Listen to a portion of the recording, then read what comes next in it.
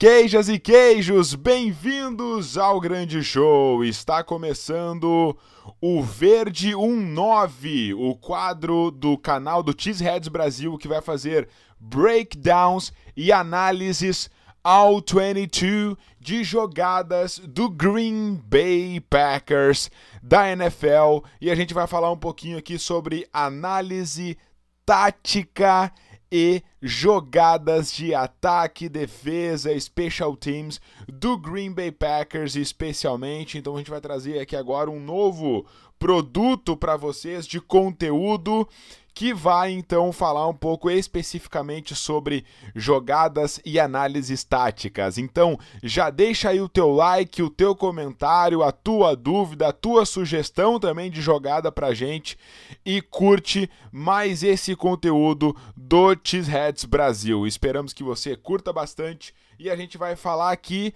hoje, neste vídeo, sobre este touchdown do Devante Adams no Divisional Round dos playoffs do ano passado no Lambeau Field, onde o Green Bay Packers venceu a equipe do LA Rams em casa, nessa jogada brilhante de Aaron Rodgers, especialmente e, é claro, com a finalização do touchdown de Devante Adams. Aperte os cintos, está começando o Verde 9 Breakdown do Green Bay Packers.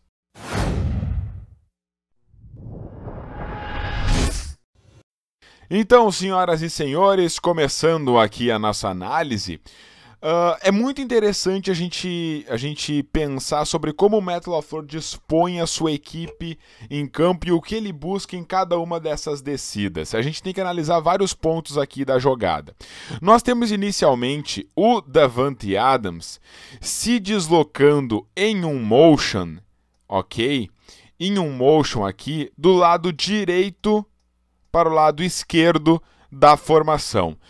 O Matt LaFleur desenha essa função e, e, e, designa essa função na jogada para Devante Adams para ajudar o Aaron Rodgers a confirmar a marcação de Jalen Ramsey, que ficou em shallow cover, né, o jogo inteiro aqui no Devante Adams, ou seja, ficou na sombra do Devante Adams o jogo inteiro, independentemente do que acontecesse. Não importa o que acontecesse, Jalen Ramsey ficava no encalço de Davante Adams. E quando o Adams faz esse motion aqui, o Aaron Rodgers já percebe justamente essa marcação homem a homem aqui entre Jalen Ramsey e Davante Adams, então mostrando é, essa marcação especialmente. Aqui agora eu quero chamar a atenção de vocês para uma coisa que se chama o fluxo de corrida da jogada, ou seja, para que lado vai acontecer uma possível e potencial corrida nessa jogada. Nós temos que contextualizar aqui o que, que o Green Bay Packers fez de padrão nesse jogo. A gente trabalhou muito nesse jogo aqui com um tight end, fazendo beam block, ou seja, bloqueando de frente alguns dos extremos defensores, dos edge rushes aqui da defesa. E o fluxo da corrida, ele vai ser, em geral, uh, o lado contrário do posicionamento shotgun, é que a gente fala especificamente do posicionamento shotgun, que é esse posicionamento onde o quarterback fica aí 4, 5 jardas do center, que esse fluxo de corrida sempre vai ser esse lado contrário do running back. Então, esse lado contrário do running back é o movimento aonde o running back sai da sua posição e cruza de frente com o quarterback para receber a bola. O Jamal Williams está do lado direito, então ele, o fluxo dessa corrida é do lado direito para o lado esquerdo do Jamal Williams. Em especial aqui, porque o melhor taireno bloqueador do time está inconformidade com o fluxo da corrida. Então, Mercedes Lewis, ele está em conformidade com o fluxo da corrida e não só em conformidade, não é apenas um end posicionado em três pontos com uma mão no chão aqui.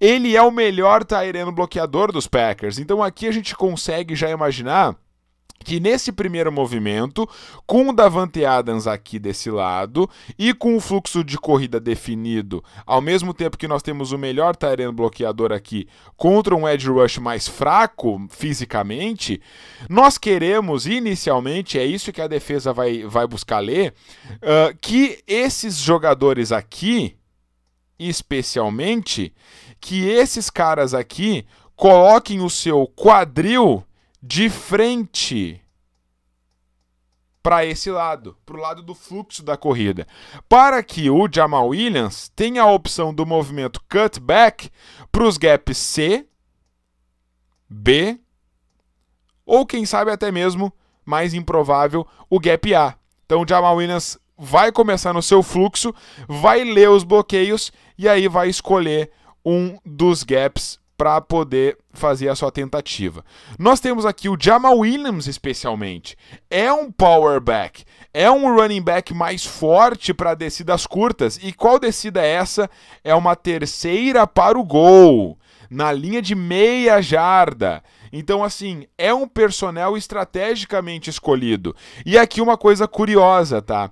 Nós temos Marcus Valdes Scantling, o wide receiver, muito próximo da linha de scrimmage. E o Packers criou um padrão de que o wide receiver próximo à linha de scrimmage ou é um play action em big play, ou seja, uma bola de 30, 40 jardas, uma tentativa longa não é o caso, porque nós estamos aqui a meia jarda da end zone. Ou é uma jogada corrida, ou é uma, uma jogada terrestre, para facilitar aqui o bloqueio no enquadramento do, do, do cornerback pelo wide receiver.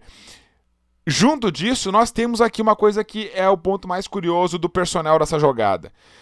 Nós temos aqui Alan Lazar posicionado numa stance de dois pontos. Ou seja, ele não está como o Marques Valdes Scantler aqui nos, no, no dois pontos wide, né? No two point wide, que é essa, essa stance de wide receiver convencional. Ele está num tight wide, ou seja, numa stance de dois pontos de tight end. Ou seja, nós temos aqui uma confusão para a defesa. Qual é esse personnel de fato? Ele é um personnel é, 11 com um tight end e um running back, ou ele é de fato um personnel 12 com, um, com dois tight ends e um running back? Porque aqui o, Mark, o, o, o Alan Lazar está fazendo o papel de tight end ou não? O que será que o Alan Lazar vai fazer? Ele vai correr uma rota. Ele vai então se deslocar numa rota out aqui ou uma rota corner, numa flat, logo rapidinho aqui, vai fazer uma uma spot, vai cruzar a, a, a linha de scrimmage aqui no crossing, o que vai fazer o Alan Lazar. Isso aqui confunde a defesa. E nesse caso, como o fluxo de corrida já é da direita para a esquerda, a ideia é tender esses caras a fazer justamente esse movimento aqui. Porque nós temos um Alan Lazar em dois pontos, ele pode fazer qualquer coisa, mas o fluxo de corrida já está bem definido aqui. Então a ideia é inicialmente sim que seja uma corrida nesse primeiro nessa primeira fotografia aqui. Mas o que acontece logo em seguida? O Davante Adams volta no motion. Ele vai voltar nesse motion aqui. E outro padrão que o Packers criou foi justamente é, o fake pitch, né? O fake pitch para o wide receiver, aonde o Aaron Rodgers finge que vai entregar a bola para o wide receiver em movimento, em corrida, e vai ainda assim correr no fluxo do running back. Então aqui a defesa tem mais uma leitura de jogada corrida. Pô, agora o meu safety ainda ficou mais confuso ainda. Ele ficou mais confuso e ele tá sinalizando pro Jalen Ramsey porque ele tá vendo que o Jalen Ramsey tá atrasado aqui. Ele tá vendo que o Jalen Ramsey tá atrasado, ele tá sinalizando a ele, pô, cara, tu tá atrasado, vem, vem, o que que tá acontecendo, vamos.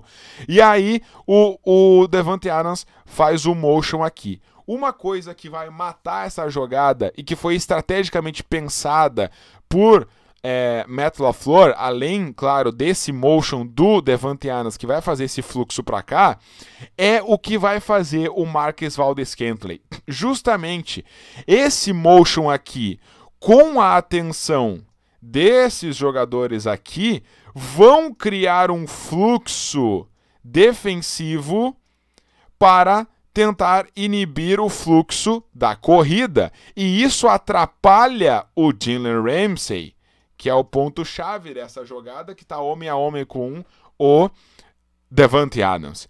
E o Marques Valdes Kentlin, ele vai uh, botar a cereja no bolo, porque esse cornerback aqui, no momento do snap, tá? Esse cara aqui, ele uh, poderia fazer uma cobertura dupla na leitura, ou seja, ele poderia fazer o reconhecimento da rota do, do Devante Adams, porque se esse cara tá vindo em motion, fica claro que ele vai sobrar aqui, ele vai continuar no movimento de corrida. O Devante Adams não iria, de qualquer maneira, correr para cá e parar para fazer um bloqueio, por exemplo. Isso não acontece, isso não iria acontecer, é contra um movimento natural de um motion rápido como esse. Então é, é, é, é responsabilidade também desse corner fazer essa leitura identificando esse motion aqui. Só que o que acontece? Com o Alan Lazar de fato indo para o bloqueio, ele, o Alan Lazar então libera esse cara para poder ajudar na contenção. E aí o Marques Valdes ele vai fazer uma rota muito inteligente, muito bem desenhada para prender esse corner aqui e vai deixar ele completamente preso. Olha ali, ó. Olha como ele fica preso no gancho do Marques Valdes Scantling. Percebam como ele fica preso no gancho do Marques Valdes Scantling, que começa a sua rota, ele vai fazer um gancho aqui, né?